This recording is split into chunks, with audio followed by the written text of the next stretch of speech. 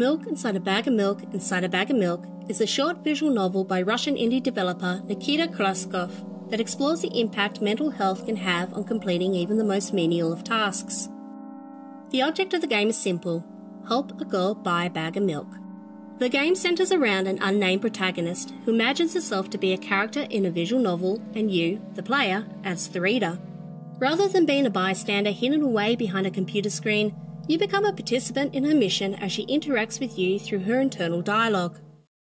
Like most interactive novels, you progress through the game by making text based decisions, with multiple outcomes available depending on the choices you make. However, the options that are presented are not always helpful, with some even mocking her mental instability. If pushed too far, she'll become disappointed with your lack of help and you'll be forced to restart the game from the beginning. Relying on a limited colour palette, the oversaturated and pixelated graphics add to the unsettling nature of the game, with the droning synth soundtrack working to further cement an overall feeling of dread. But it's within the unravelling of the protagonist's trauma that the player experiences true horror. It is evident from the beginning that the girl struggles with mental illness as she makes a 19th attempt to buy a bag of milk.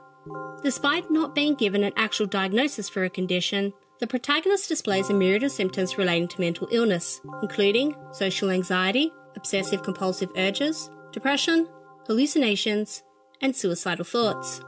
Given that you, as the player, are seeing the world through her eyes, it forces you to confront her reality as you experience it alongside her. In breaking down the narrative, it becomes clear that the protagonist has more than one distinct voice, as if her personality is split. While talking to herself and narrating her actions, her thoughts get straight to the point of what she is feeling or experiencing, with no quotation marks enclosing the text. Yet when she interacts with you, quotation marks are used and her tone changes to one of confusion and uncertainty, as if seeking your approval and guidance. But this is where things get really interesting. Throughout your interactions with the protagonist, you are given the opportunity to respond with information that has not yet been revealed in the game. One such example is when you inform the girl that she has been walking with one foot on the grass and the other on the asphalt. This is an action that is not seen or revealed at any point prior, nor is it the only time that such a revelation occurs, which begs the question how is it that you know this information?